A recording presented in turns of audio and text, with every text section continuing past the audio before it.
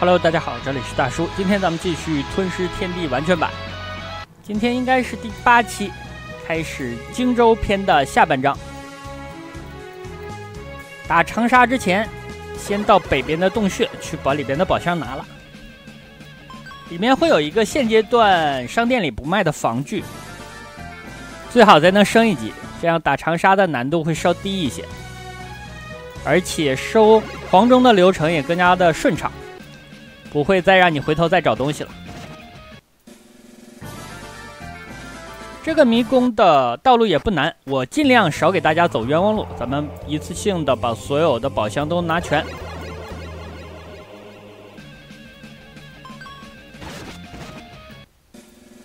我只能凭记忆走，但是本作有几个迷宫呢，和原版是有点差距的，不大一样。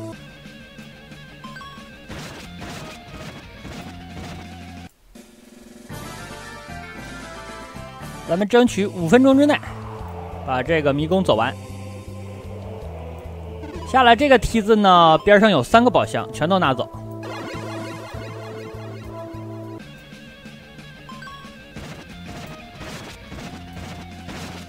从打长沙开始，咱们的队伍的配置人员会越来越多的。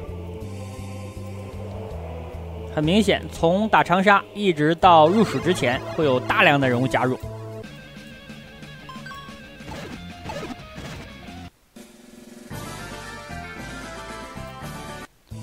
把这个宝箱拿了，然后呢，咱们缩地技缩出去。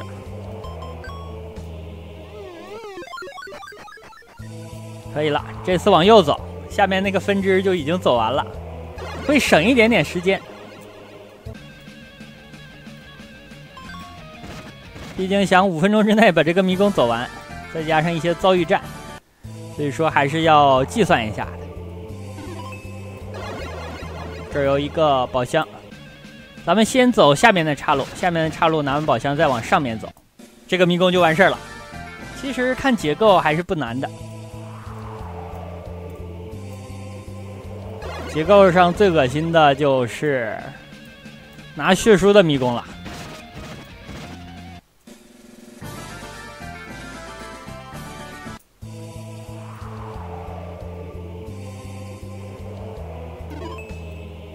铜仙丹，跑这么远拿了一个铜仙丹，但是宝箱嘛，没拿就算丢了。一般血书的那个迷宫的宝箱，我是不想全拿的。那个迷宫有一点太讨厌了。但是呢，你像里边的赤龙剑还是要拿的啊，这种可以卖钱卖的比较多的，不要错过。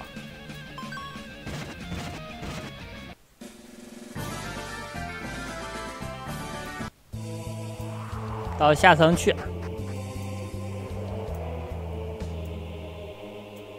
这里还有一个宝箱，然后从左边的楼梯上去就是养油宫了。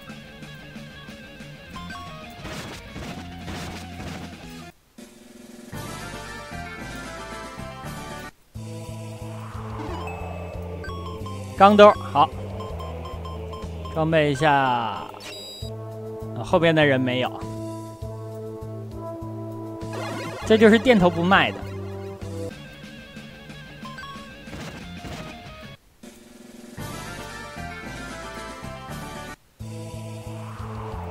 从长沙开始，攻城战的时间会变长，你已经无法非常从容的一个总攻就完事儿了，需要算计一下。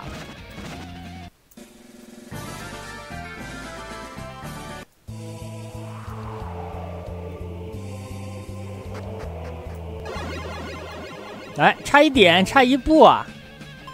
好在这仗的敌人不多，那咱们从进入这个迷宫开始算，一直到拿到养油弓，大概用了四分钟，还可以。拿完之后就可以去打长沙了。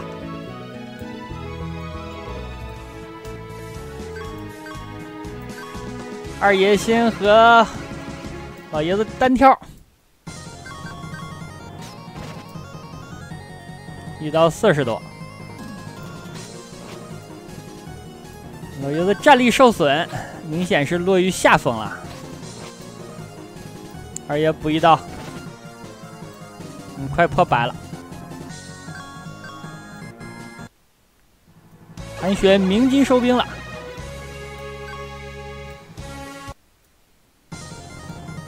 啊，这里这仗不要被偷袭呀！先放倒了黄忠和魏延。他摆在榆林镇，所以我的诸葛亮也平 A 了。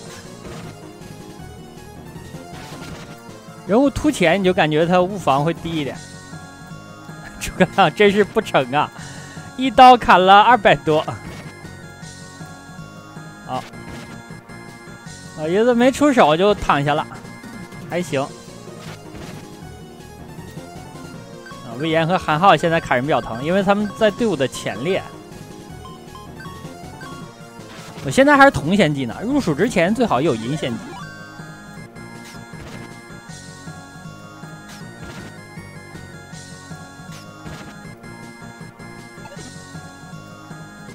这刘峰总跟我玩手滑，太讨厌了！刚才那刀其实挺关键的。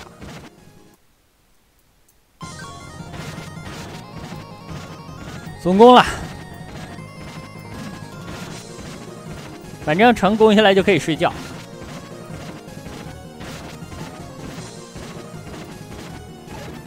这几个货砍的还挺雨露均沾的。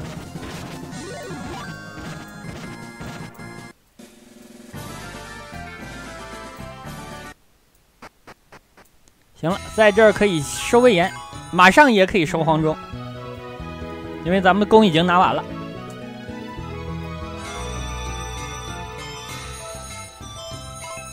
这儿有一把钢弓，好了，一阵对话就加入了。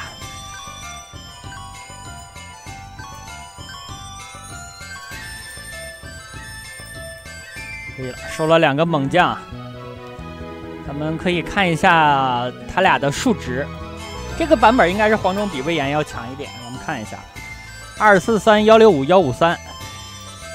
二四八幺七五幺七八，你看黄忠的数值要比魏延稍强那么一些。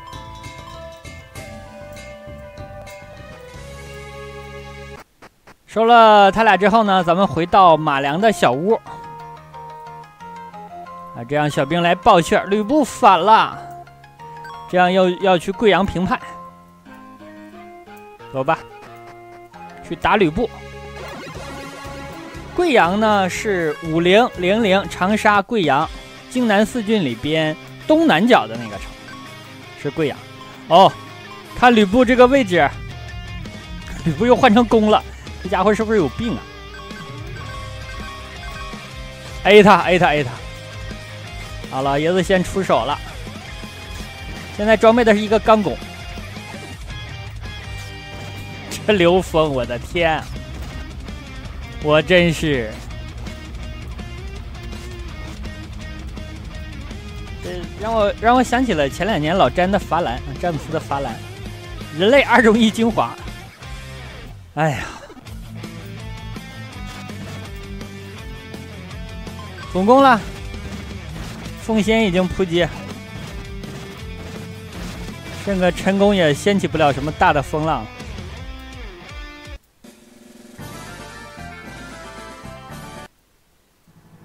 好，打完了贵阳，吕布又跑到了零陵，在零陵要打这个关隘。哦，在这里他就带了五个人。邢道人砍人还是很疼的，张继砍人也不轻。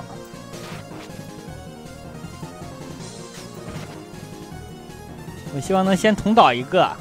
哦，这两下，二爷挺疼啊，一千多人。得给我伸个尾巴，哦，三爷收了。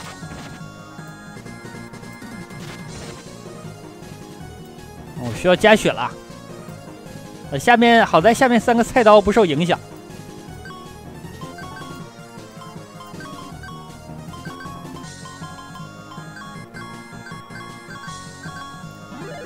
海星道荣，这毕竟是上将啊！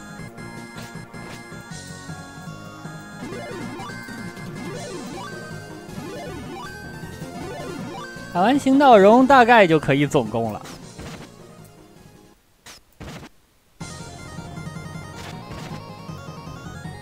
刘峰到现在还很强势，那入蜀之后呢？这把剑就一很一般了。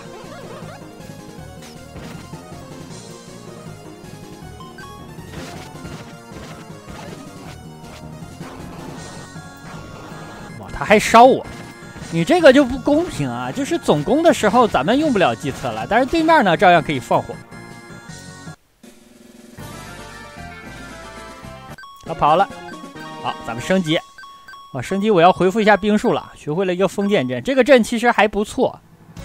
到后面咱们如果搞个双军师啊，搞个封建阵是相当不错的。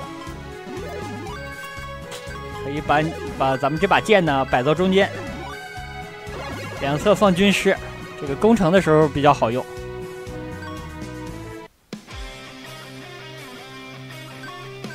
但其实风使阵的弱点也比较明显，就是中间的这位。因为防御力下降了很多，非常容易崩。哦，这是这次是带的嫡系部队，那上次呢带的是零零的降将。谁策反了？成功策反了谁？但应该是策反的是吕布，应该策反是吕布。啊，但是成功明显是我怎么说呢？不识数吧？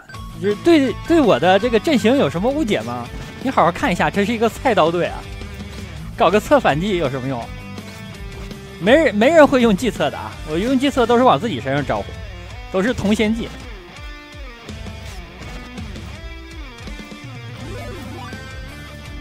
他也往自己身上招呼了。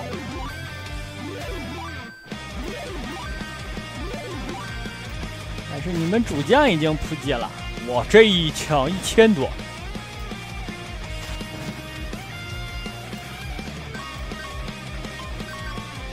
来吧，我再稳一稳，再总攻，至少再砍倒一个再说。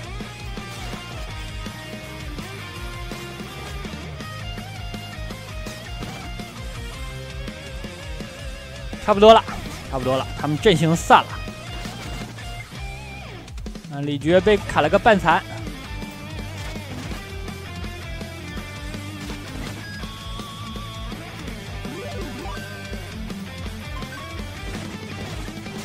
总共。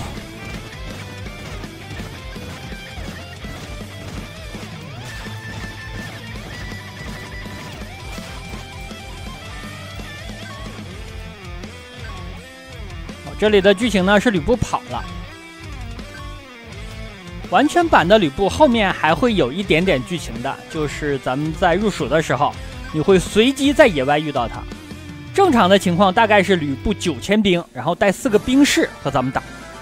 在那里呢，如果你把吕布打败了，那吕布会有一小段剧情，就是他彻底的就挂了啊，不会再出现了。但是这个汉化版啊，可能是汉化作者稍微夹带了一点点私货，他觉得这吕布不可能这么简单，所以他就给难度增加了。啊，后面遇到吕布不会超级难的。新野城修好了。咱们把隐藏道具拿一下啊！后面碰到吕布，基本基本上就是一个团灭的结局。如果你不搞什么免击的话，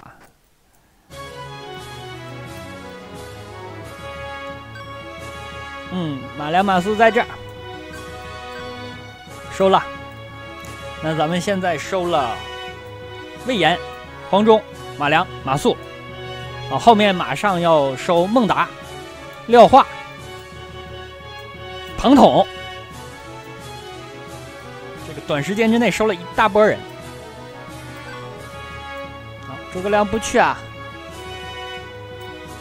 咱们要去见水镜先生。水镜先生给咱们了一壶酒嘛，啊，秘方还在这里。啊，他继续督剑，这个货真的是永久离队了。咱们看一下马良和马谡兄弟，马良八十二百四，这武力真是低。马谡呢一百七二百一。哎呀一百七二百一，这个数值就很尴尬，就是他算不上一线角色，二线都勉强，对吧？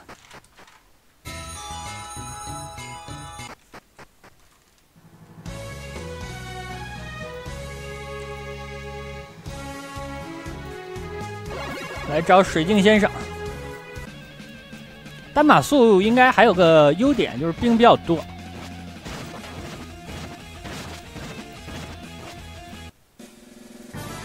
智力二百一就相当于八十出头，那一百七就武力一百七就不够看了。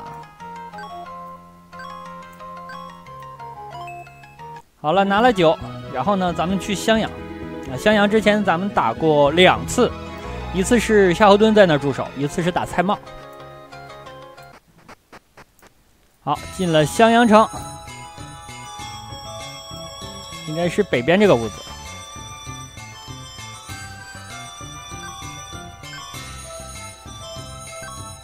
然后呢，去救人。你城里有很多妹纸被抓走了，这廖化竟然干这事儿啊！去收拾他，这还得了？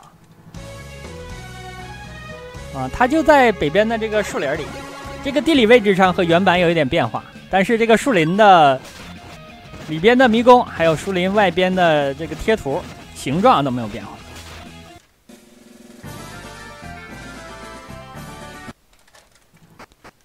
好这个地图呢，这个迷宫有个优点，就是隐藏道具比较多。那其实之前是这样，新野不建成了吗？里边的武器店是卖好装备的，但里边最重要的装备呢，是对于咱们现在的这个阵容来说是岩弓、火焰弓。因为黄忠现在拿的是钢弓，我为什么没在店头买呢？因为这张地图马上你就能拿到一个。另外，新野还卖岩斧，这样一会儿入蜀的时候，咱们队伍里有了黄忠和魏延他们两个的时候，咱们再去，还没把盐斧再买。因为入蜀的时候的阵容啊，相对是灵活一些的。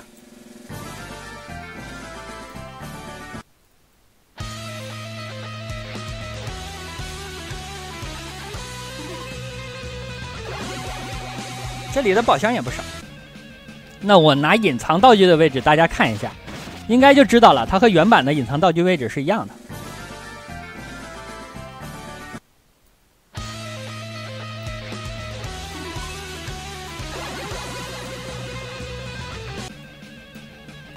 黄金，哎，这倒对，在演义里边，廖化出身黄金。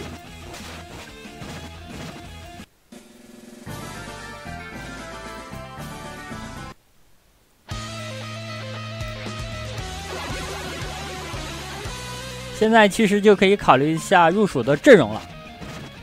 入蜀的时候是这样，和原版不大一样。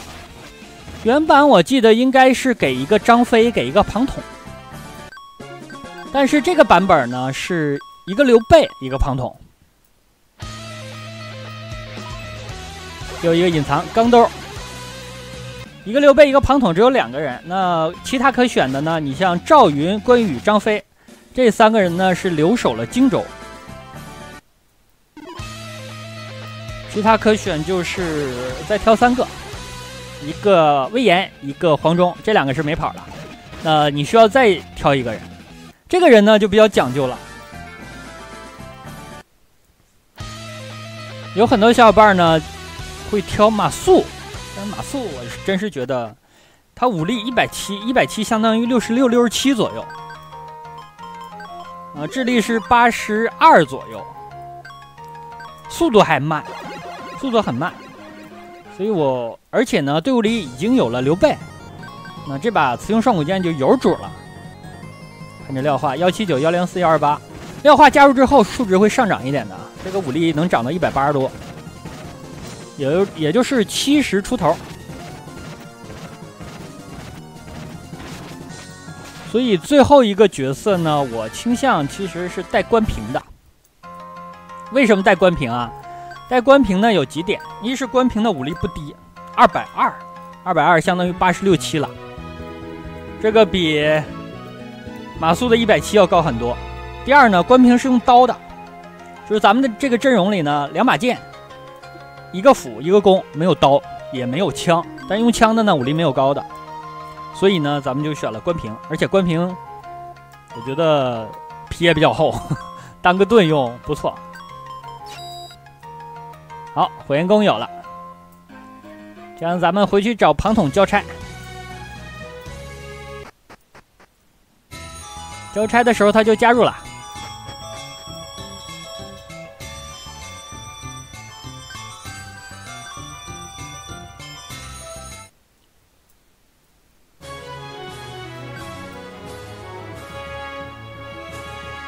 正式开始入蜀，这里应该是张松。我的天，这不是张松，这不大长脸吗？这脸真的好长。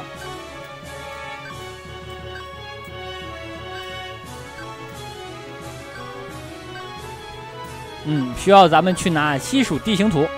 西蜀地形图那个迷宫我去过了，已经把里边的所有的东西都搜刮遍了。只差最后的一个地图宝箱，那个地图宝箱呢是孟达在守着，那咱们去拿就可以了。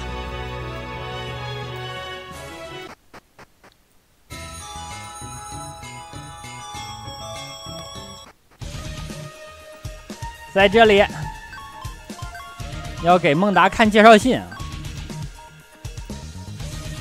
然后孟达也会加入的。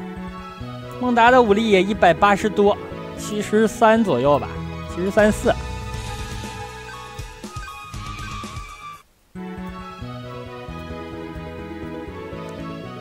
我这个版本是三点零一还是三点零三？其实现在最新的四点零八呢，加入了一个武将的成长系统啊，在这个训练所里边，你的武将如果三维低于五百的话，或者武力低于二百二还是二百，你就可以给他往上锻炼一下数值。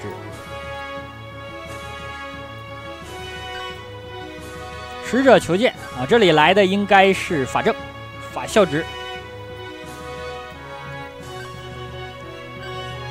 对，不带马谡呢，其实还有个原因，因为这里的法正会加入的，这也是个军师啊，他的智力方面比马谡是强很多的。好，关张赵留守了，那只有刘备和和庞统了，出发。孔明也留守了，这感觉一下子，队伍之前的那五个人没影了，你知道吧？加队啊，就是黄忠、魏延，这个组队，这个真的是爽，你莫名其妙就很爽。你看孟达、廖化，一个武力一百八十一，哦，廖化一百八十五，还更高一点。孟达是也有可取之处的，因为孟达的速度特别快，二百二十多。可以了，咱们这个阵容呢也组成了，把关平放到前面。那好吧，本期呢时间也差不多，就先给大家录制到这儿了。感谢大家收看吧，咱们下一期正式开始入蜀的流程，下期见。